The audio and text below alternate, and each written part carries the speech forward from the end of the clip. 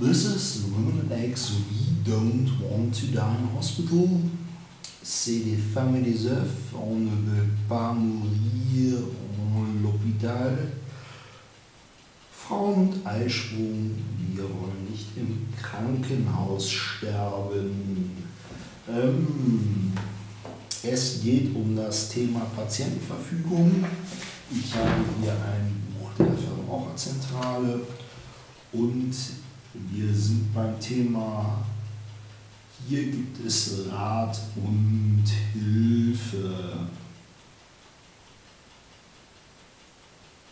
Das ist die Seite 14 unten und es geht auf der Seite 15 weiter. Hier gibt es Rat und Hilfe. Mit einer Patientenverfügung legen Sie Wünsche für eine Situation fest, die Sie aus eigener Erfahrung wahrscheinlich nicht kennen.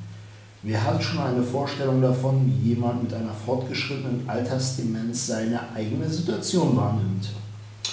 Umstände, die in gesunden Tagen unerträglich erscheinen, können ganz anders wahrgenommen werden, wenn man selbst betroffen ist. So berichten zum Beispiel Menschen, die aus dem Wachkoma erwacht sind, wie sie um ihr Leben kämpften. Ja, finde ich wichtig, dass das nochmal gesagt wird, die letzten beiden Sätze. Umstände, die in gesunden Tagen unerträglich erscheinen, können ganz anders wahrgenommen werden, wenn man selbst betroffen ist. So berichten zum Beispiel Menschen, die aus dem Wachkummer erwacht sind, wie sie um ihr Leben kämpften. Zu gut Deutsch, wenn man auf einmal selber aus dem Wachkoma erwacht, will man dann auch weiterleben, selbst wenn man früher gedacht hat, der ist so krank, der wird nie wieder gesund, der stirbt vielleicht besser. Ähm, das sind so Gedanken, die sollte man sich wirklich ernsthaft stellen. Ähm,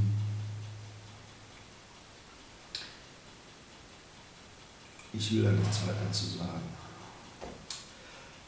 Sie können nicht in die Zukunft blicken, Sie werden nicht wissen, was Sie in einer solchen, äh, wie Sie in einer solchen Situation reagieren und was Sie sich dann wünschen. Sie können nicht in die Zukunft blicken, sie werden nicht wissen, weil sie in einer solchen Situation Sie werden nicht wissen, wie sie in einer solchen Situation reagieren und was sie sich dann wünschen. Sie können es nur vermuten, indem sie sich dem Thema annähern. Dabei helfen die Fragen auf den Seiten F3 bis F8 im hinteren Teil des Buches. Seite F3 bis F8. Da weise ich auch immer gerne wieder darauf hin. Fragen zu, ihrer Persön äh, zu Ihren persönlichen Vorstellungen.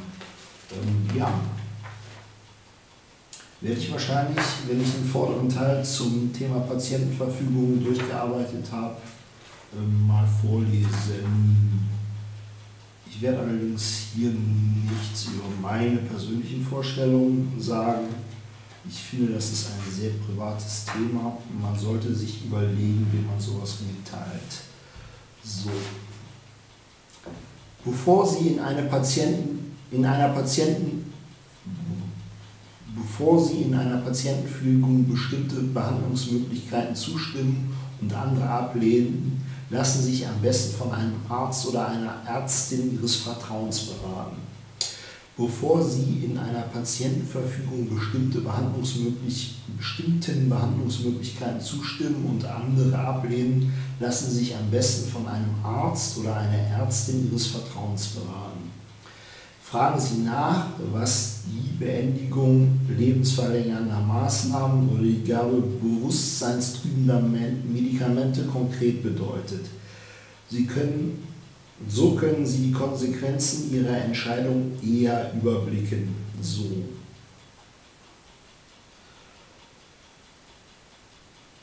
Bei der Gabe bewusstseinstrübender Medikamente, es gibt drei Behandlungsgrundsätze, denen ein Arzt folgt. Die sind unterschiedlich wichtig. Der erste Behandlungsgrundsatz ist, eine Behandlung sollte selbstbestimmt erfolgen der Patient sollte wissen, worauf er sich einlässt und selber eine selbstbestimmte Entscheidung treffen. Ähm, dazu muss man den Patienten ausreichend informieren und er muss bei klarem Verstand sein, das heißt, er muss das verstehen, was man ihm gesagt hat und er muss in der Lage sein, logisch zu schließen und die Konsequenzen für sich selber ähm, ja, zu verstehen, was die Behandlung angeht. Dann schmerzarm. Das ist aber erst der zweite Grundsatz. Wenn man selbstbestimmt entschieden hat und man hat starke Schmerzen, dann kann es sein, dass man diese bewusstseinstrübenden Medikamente haben möchte, weil man die Schmerzen nicht mehr aushält. Ähm, das kann zum Beispiel bei Krebsbehandlungen sein, ähm, das kann sein nach einem schweren Trauma, nach einem Unfall zum Beispiel an der unteren Wirbelsäule. Man hat dann unter Umständen Schmerzen in den Beinen, obwohl die Wirbelsäule verletzt ist und man hält das nicht länger aus.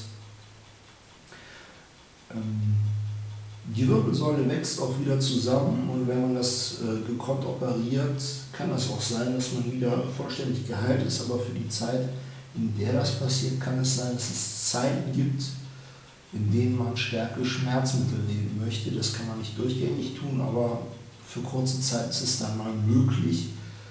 Und man kommt dann auch zur Ruhe und kann entsprechend tief schlafen, was einer Gesundung sicherlich zuträglich ist. Da werden hoffentlich die Fachleute zustimmen. Ähm, ja, sowas kann man sich alles überlegen und so, solche Gedanken sollte man sich machen.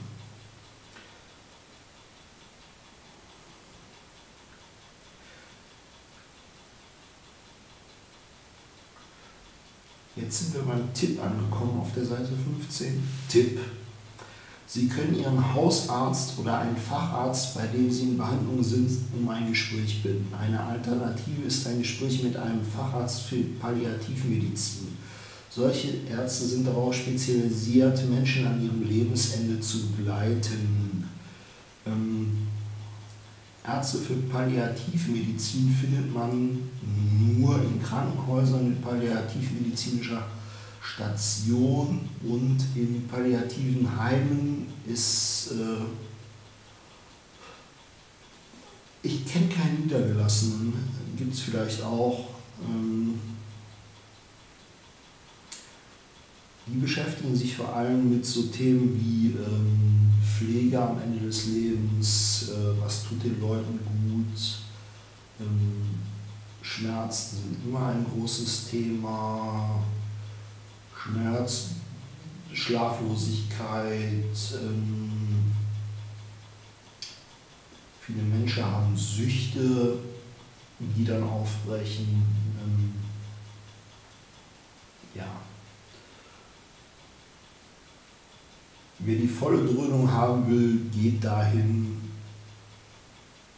Es ist sicherlich sinnvoll, mit jemandem, der die medizinische Perspektive im Blick hat, äh, zu sprechen und das sollte jemand sein, ähm, dem man vertraut und dem man ja, zwar kennt, dem aber auch nicht zu nahe steht. So.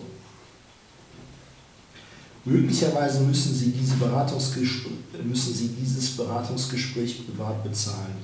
Manche Krankenkassen übernehmen die Kosten, fragen Sie vorher nach. Möglicherweise müssen Sie dieses Beratungsgespräch privat bezahlen. Manche Krankenkassen übernehmen die Kosten, fragen Sie vorher nach. Auch wenn Sie selbst zahlen müssen, sollten Sie auf das Gespräch mit dem Arzt nicht verzichten.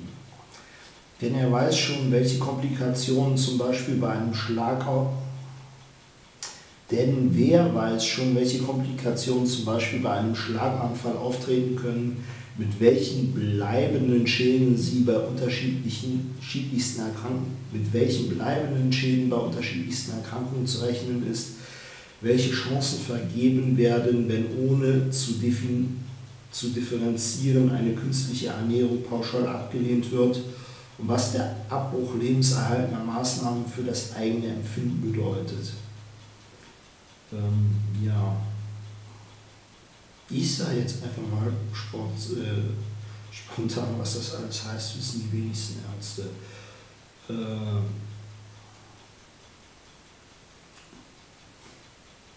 mehr möchte ich dazu auch erstmal nicht sagen. Ich wiederhole es mal nochmal. Ähm, auch wenn Sie selbst zahlen müssen, sollten Sie auf das Gespräch mit dem Arzt nicht verzichten. Denn wer weiß schon, welche Komplikationen zum Beispiel ein, bei einem Schlaganfall auftreten können, mit welchen bleibenden Schäden bei unterschiedlichsten Erkrankungen zu rechnen ist, welche Chancen vergeben werden, wenn ohne zu differenzieren eine künstliche Ernährung pauschal abgelehnt wird was der Abbruch lebenserhaltender Maßnahmen für das eigene Empfinden bedeutet. Ein Arzt kann Ihnen zumindest eine Vorstellung davon geben. Hilfe bei Ihren Überlegungen können auch Seelsorger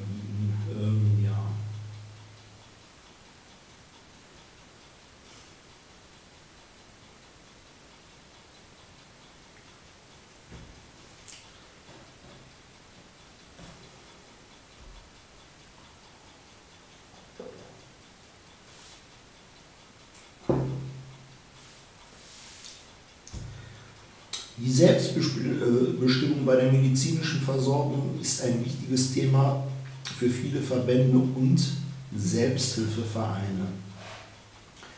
Vor allem Organisationen, die sich mit schweren Krankheiten wie Krebs oder dem Umgang mit Sterben und Tod beschäftigen, stellen Informationsmaterialien bereit. Eine individuelle Beratung bieten jedoch nur wenige von ihnen.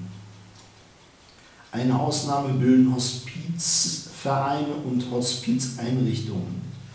Zumindest einige beraten zu Patientenverfügung. Telefonische Auskünfte bekommen Sie außerdem beim Zentralarchiv des Deutschen Roten Kreuzes und bei der Deutschen Stiftung Patientenschutz. Hier stehen auch Telefonnummern ich sage nur mal die Namen, Zentralarchiv des Deutschen Roten Kreuzes und Deutsche Stiftung Patientenschutz. Ähm, bei rechtlichen Fragen helfen spezialisierte Anwälte etwa für Familienrecht oder Medizinrecht weiter. Auch Notare können zur Betreuungsverfügung beraten. Da es bei Notaren, da es bei Notaren keine Spezialisierung auf bestimmte Themengebiete gibt, sollten Sie bei der ersten Kontaktaufnahme nach den Tätigkeitsschwerpunkten fragen. Sie können Ihre Verfügung notariell beglaubigen oder beurkunden lassen. Eine solche Beurkundung, die eine Beratung beinhaltet, ist vor allem dann sinnvoll, wenn Dritte anzweifeln könnten, dass Sie beim Aufbesetzen der Verfügung noch im Vollbesitz Ihrer geistigen Kräfte waren. Für die Leistungen des Notars fallen gesetzlich geregelte Gebühren an. Fragen Sie vorher nach den Kosten. So. Also, bei rechtlichen Fragen helfen spezialisierte Anwälte. Hier sind zwei Spezialisierungen genannt, Familienrecht und Medizinrecht. Notare beraten dazu. Notare spezialisieren sich nicht. Es gibt Leute, die ein Notariat haben, also Notare, die haben anscheinend einen entsprechenden Tätigkeitsschwerpunkt. Ähm, danach kann man sich erkundigen. Es gibt hier in der Gegend die Rheinische Notarkammer, da sollte man dann vielleicht anrufen und nach einem Notar mit einem solchen Tätigkeitsschwerpunkt fragen. So, wenn man zum Notar geht, ist das nicht so eine Wundertüte wie beim Anwalt, sondern der Gebührensatz ist gesetzlich geregelt. Ich gehe davon aus, dass man da billiger und besser dran kommt. Ich würde wahrscheinlich den Notar bevorzugen. Ähm, gute Ansprechpartner sind außerdem die Betreuungsvereine. Diese ehrenamtlichen Vereine arbeiten oft unter dem Dach der großen Wohlfahrtsverbände. Sie sollten in erster Linie ehrenamtliche Betreuer werben. Sie sollen in erster Linie ehrenamtliche Betreuer werben und sie bei ihrer Arbeit unterstützen. Außerdem beraten sie zum Thema Betreuungsverfügung. Da sich aber immer mehr Menschen mit Patientenverfügung auseinandersetzen, helfen viele Beratungsvereine auch bei diesem Thema und stellen Informationsmaterial zur Verfügung. Die Arbeit der Beratungsvereine wird staatlich gefördert. Die Beratung ist in der Regel kostenfrei. Adressen finden Sie im Telefonbuch. Ähm, ja. Also im Telefonbuch nach Betreuungsvereinen gucken. Die bieten oft Informationsmaterialien und eine kostenfreie Beratung. Sie werden staatlich gefördert. Ich hoffe, wenn Sie staatlich gefördert werden, werden Sie auch staatlich kontrolliert. So, das war's für diese Folge. Bis zur nächsten. Mm-hmm.